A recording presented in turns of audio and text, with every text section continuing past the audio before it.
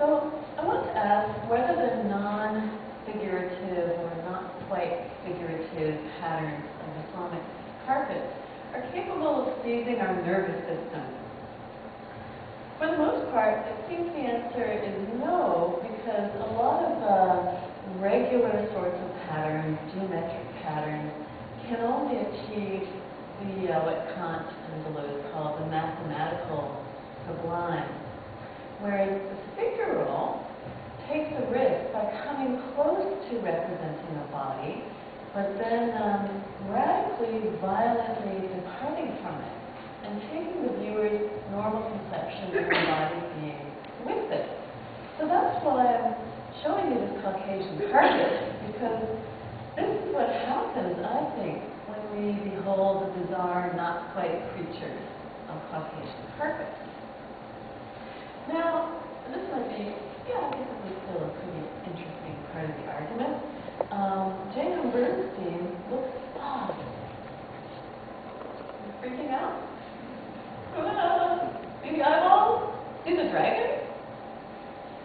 See the dragon's eyeballs? Okay. Proceed. J.M. Bernstein, maybe not quite so daringly, uh, looks for Deleuze's concept of the figural in Matisse.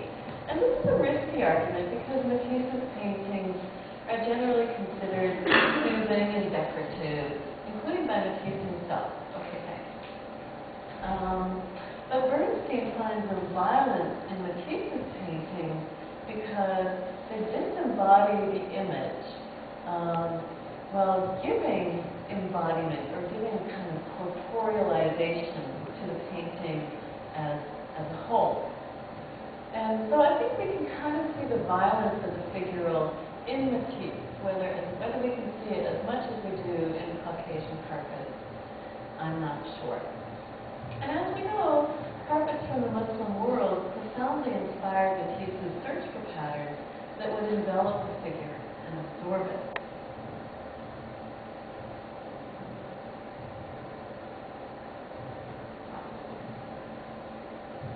Maybe I'll just end with a few westward travels of, uh, of some of these abstract patterns in Islamic art.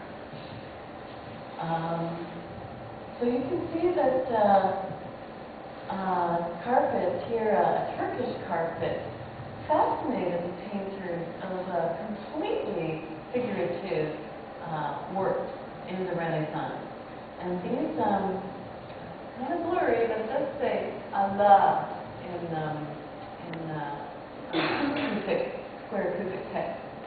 And I think, and I argue in chapter uh, 3 and 4 of the book, that these carpets are like islands of, well, there I say islands of abstraction in a sea of figuration. Now I would say islands of molecular life in a sea of representation.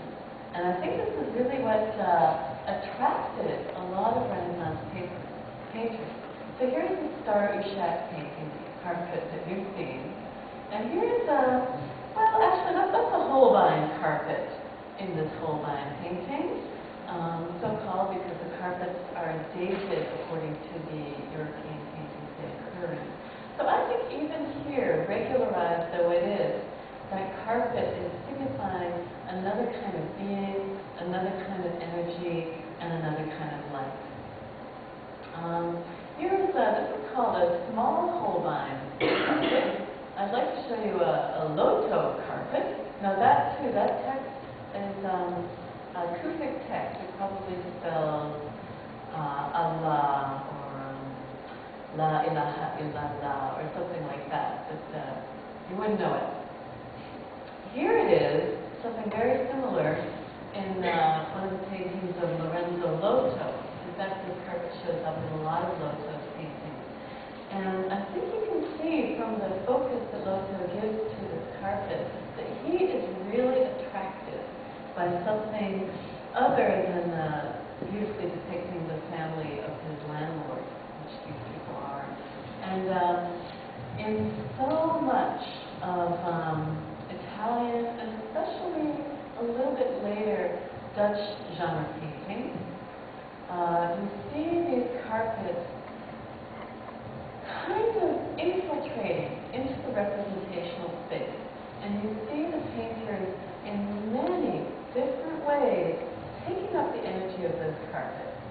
So here in Vermeer's A Maid Asleep, uh, you can see that she, she's had too much to drink. And the carpet seems to me to kind of respond to a, to a woozy, overflushed, drunken uh, state. And I guess I'll just, uh, uh, maybe I should read my conclusion. Conclusion. Algorithmic artworks are not necessarily dry. They can be quite wet in that they invite a range of embodied responses. And in the extension of this paper, I extend what I've been saying about carpets to contemporary works made using algorithms. Um, and also, I think we can think of the relationship between uh, hardware and software as very similar to the relationship between the weaver and the designer. There's a lot of room for um, human qualities and also for the qualities of the material to in a really vigorous unexpected way with the, um, the ideas that they're embodying. Thinking like a carpet means uh, becoming intense, mirroring the universe at any point, undergoing transformation, and recreating human relations in our own bodies. Thank you.